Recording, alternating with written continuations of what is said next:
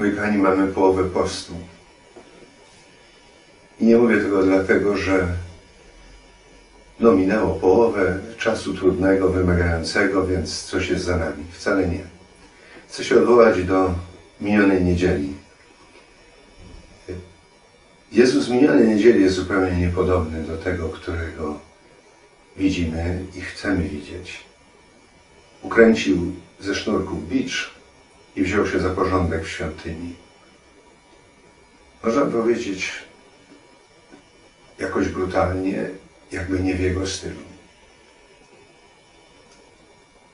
Mamy w Piśmie Świętym, w pierwszym liście do Koryntian, piękne słowo świętego Pawła. Czy nie wiecie, że jesteście świątynią Boga i że Duch Boży was mieszka?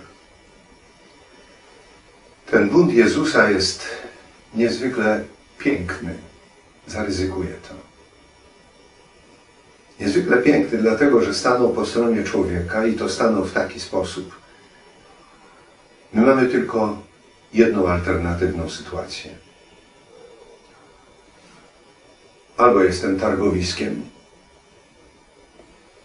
albo świątynią.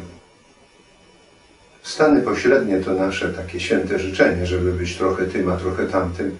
Nie da się. Przez poprzedni tydzień zapraszali mnie ludzie, w cudzysłowie zapraszali, bo raz przez telefon, raz przez Skype, innym razem siedzieliśmy naprzeciwko sobie, żeby im pomóc. Wszystkie sytuacje, mogę tak powiedzieć ogólnie, bez wyjątku, są sytuacjami, w których zrobili ze swojego życia targowisko. A teraz zbyt wiele boli, zbyt wielu ludzi dookoła płacze, zbyt wielu poranionych. Wielki Post jest po to, żeby się zatrzymać i zacząć adorować w sobie Pana. W sobie. Może wyczyścić tę świątynię wreszcie. I zakończę pięknym tekstem. We wszystkich czuwaniach, które przeżywałem w tym roku z młodzieżą, dotykamy miłości Boga, a część tych młodych ludzi idzie do konfesjonału. Ja tylko powtórzę jedno słowa. Jedno słowo chłopca. Jest mi lekko, jestem szczęśliwy, jest pięknie